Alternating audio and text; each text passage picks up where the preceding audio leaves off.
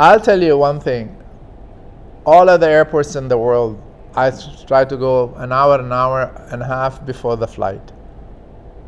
But when I go to Dubai airport, I go three hours or four hours before because I can shop, I can wander around, and then you know buy my things if I want to buy anything. So it's really an airport that makes you very comfortable.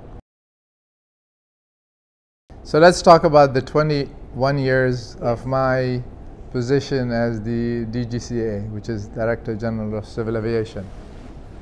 Uh, well, it happened in 1978 when I was appointed by a decree from the government of Dubai, and then the journey started for me.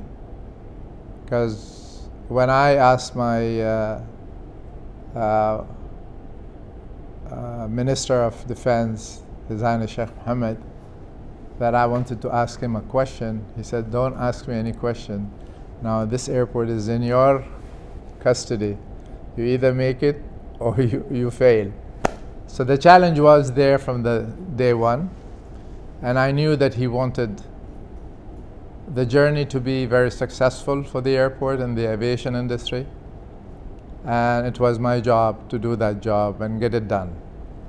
So we started, of course, me and my team started to see where we could really put efforts to make this airport very interesting, very comfortable, and very international.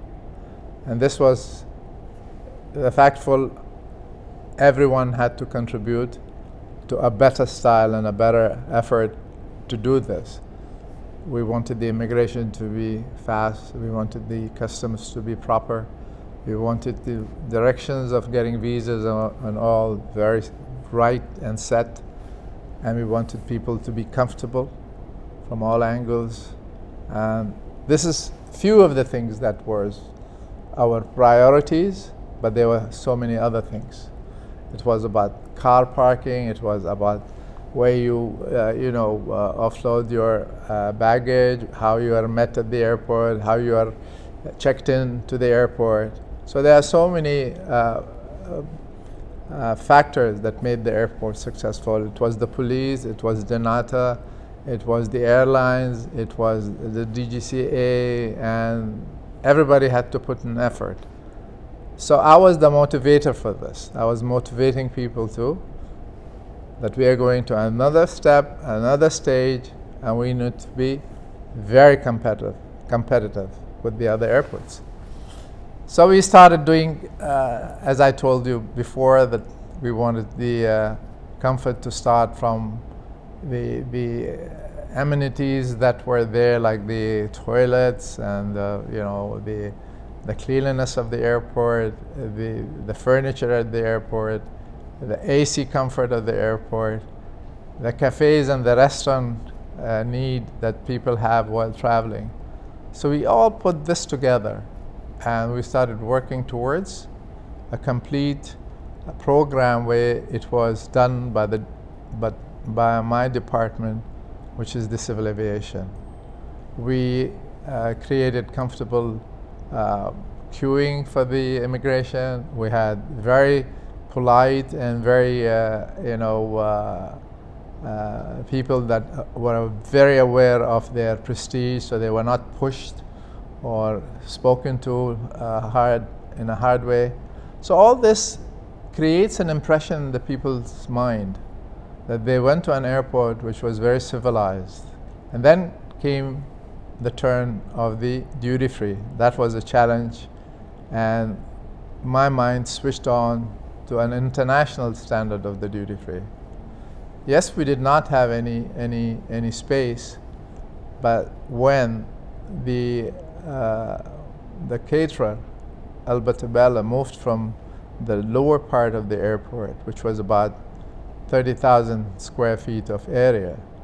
That's the time my mind started to work, that I need a duty free over here, where it will be about 26, 28 stores, where people will be comfortable, people will have goods at a very competitive prices, people will have a choice of merchandise, and I called the friend who I knew very well, who worked for me as a designer here in Dubai, called Brian Adam. It's not the singer, but the Bryan Adam, a guy who worked and lived here. He was a British. He was married and then he moved to Singapore. So the thing that came to my mind, I needed Brian to come to Dubai to see the area and to make me a conceptual design so I can take it to His Highness and show him and surprise him. He did a conceptual design, very well done with, you know, artistic uh, way and giving the definition of each store and everything. And he came back after 15 days. I took that big zipper bag for the drawing and I went to His Highness's uh, majlis. And of course, as soon as he saw the bag, he said, What is this, Mohi? And I said, I have something. You want to see it now or after lunch? And it was lunchtime. He said, No, now. So I opened the, the, drawing and he looked at it and he said, Duty free. But you don't have any place at the airport.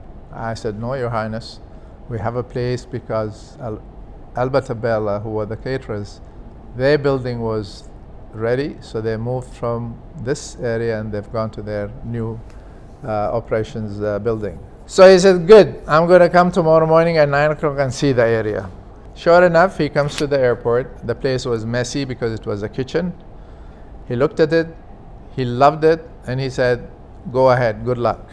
And we did very well. The first year we did 25 million US dollars. And then I came up with the ideas of raffling the cars. So that was another addition of excitement at the airport and so forth. And then Dubai started to have the name and the buzz around the area and in the world that there is a beautiful airport, no matter how small it is, but it works uh, beautifully. And then we did so many other things at the airport. We did a new runway, another runway, so we have two runways now. We added so many arrivals hall and departures hall. So the airport, by the grace of God, went very well, and I was very successful with my team, and I would have been nothing without my team because it's a team effort that made me successful. And of course, always the leader gets the credit, but it is a credit to everyone who was there at that time and worked with me.